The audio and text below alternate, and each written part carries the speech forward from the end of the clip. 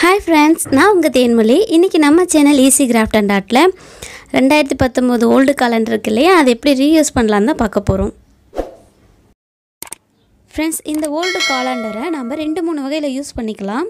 இன்றைக்கி வந்து ஒரு வகை எப்படின்னு நான் போடுறேன். அடுத்தடுத்து வந்து பார்த்திங்கன்னா இந்த எக்ஸ்ட்ரா இருக்கக்கூடிய ஃபீஸ்லாம் வச்சு எப்படி அழகான டிஐவை பண்ணுறது அப்படிங்கிறதையும் போட போகிறேன் ஸோ வெயிட் பண்ணிக்கிட்டே இருங்க. நம்ம சேனலை தொடர்ந்து வாட்ச் பண்ணிக்கிட்டே இருங்க. பாருங்கள் நான் ஆறு ஸ்கொயர் ஷேஃபில் கட் பண்ணி வச்சுருக்கேன். இந்த ஆறு பீஸில் இப்போ ஒரு பீஸ் எடுத்து என்ன பண்ணலாம் அப்படின்னு தெளிவாக சொல்லிடுறேன். இதை நீங்கள் ரெண்டாக மடிச்சுக்கோங்க.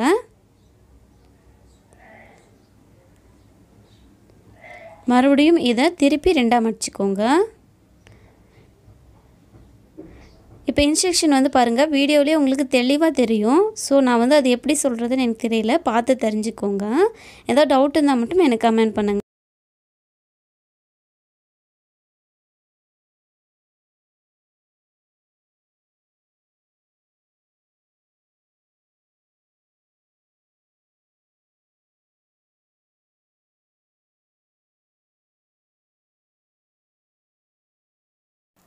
ஃப்ரெண்ட்ஸ் நம்மளோட இன்னொரு சேனல் தமிழ் பொண்ணு சமையலில். டெய்லி காலண்டரை எப்படி யூஸ் பண்ணலாம் அப்படின்னு நான் போட்டிருந்தேன்.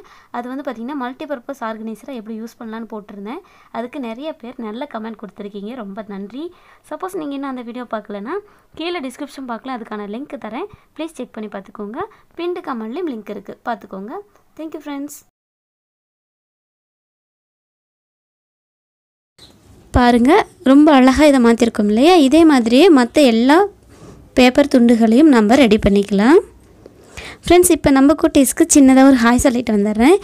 ரெண்டு பேர் வந்து ஹாய் சொல்ல சொல்லியிருக்கீங்க. ஒருத்தர் வந்து ஸ்னேக்கா இன்னொருத்தர் யாசிக்கா ரெண்டு பேர்த்துக்குமே பெரிய ஹாய் தேங்க்யூ குட்டீஸ். தொடர்ந்து நம்ம சேனலை வாட்ச் பண்ணுங்கள் இந்த டிஐஓயை செஞ்சு நீங்கள் உங்களோட வீட்டில் பென் ஸ்டாண்டாக யூஸ் பண்ணிக்கோங்க.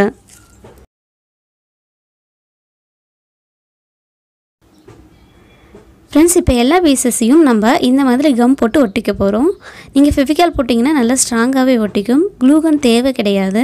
ஃபிஃபிக்காலே போதுமானது.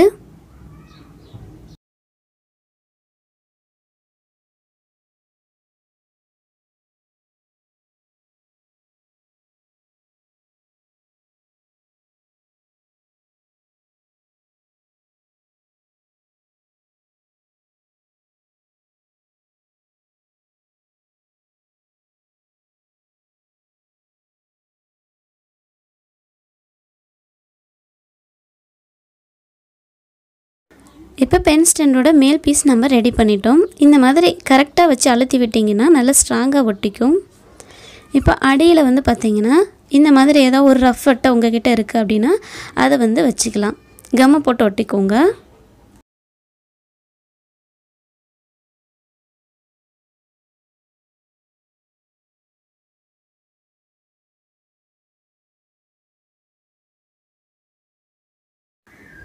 பாருங்கள் ரொம்ப அழகான ஒரு பென் ஸ்டாண்ட் ரெடி ஆயிடுச்சு. இதில் உங்களோட திங்ஸ்லாம் போட்டு நீங்கள் அழகாக ஷோகேஸில் வச்சுக்கலாம்.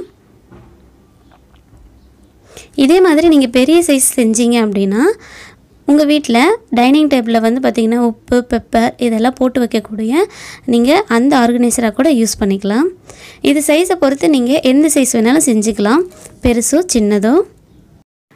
அவ்வளோதான் ஃப்ரெண்ட்ஸ் நம்மளோட ஆர்கனைசர் ரெடி ஆகிடுச்சு இப்போ நான் இன்னும் கொஞ்சம் அழகாக்கலாம் அப்படின்ட்டு ஒரு வேஸ்ட் ரப்பர் பேண்ட் இருந்தது. அதை வந்து அந்த கீழே இருக்கு இல்லையா அந்த அட்டை தெரியாமல் இருக்க போட்டு வச்சுருக்கேன். இது வந்து ரொம்ப கலர்ஃபுல்லாக இருக்கிறதுனால இதுக்கு நான் வேறு எந்த டெக்கரேட்டிவும் பண்ணலை.